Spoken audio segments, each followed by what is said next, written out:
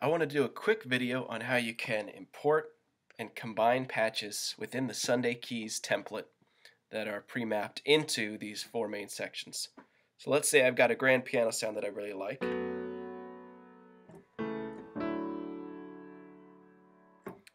And you want to add a pad to it. So if you purchase from our website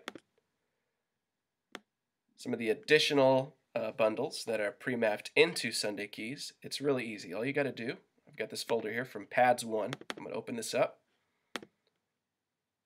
Navigate over to Patches. And you just drag the pad into MainStage. And it sounds like this.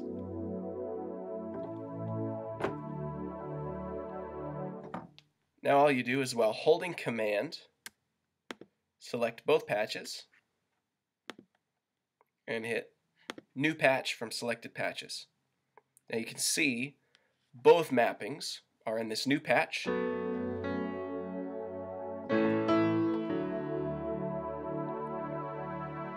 And you've got instant control over all parameters.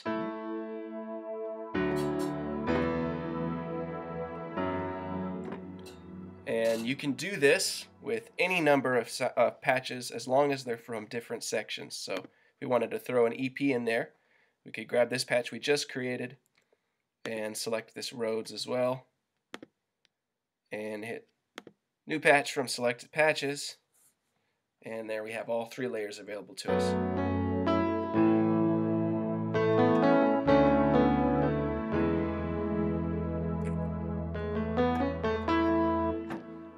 It is as easy as that.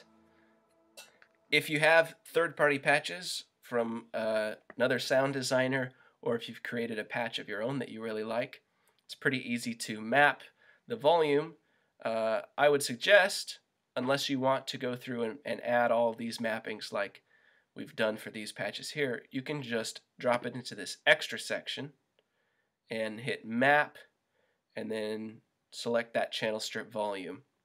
So you could load the channel strip file or you could combine use the combine patch method and then map it to the extra section. And if you want to rename that extra section, just click on the word extra in edit mode and type in whatever you'd like.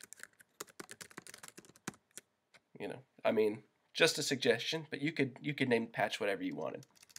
And that's all that you have to do to combine patches in the Sunday Keys template. If you have any questions, you can reach us via email info at defaultsound.com.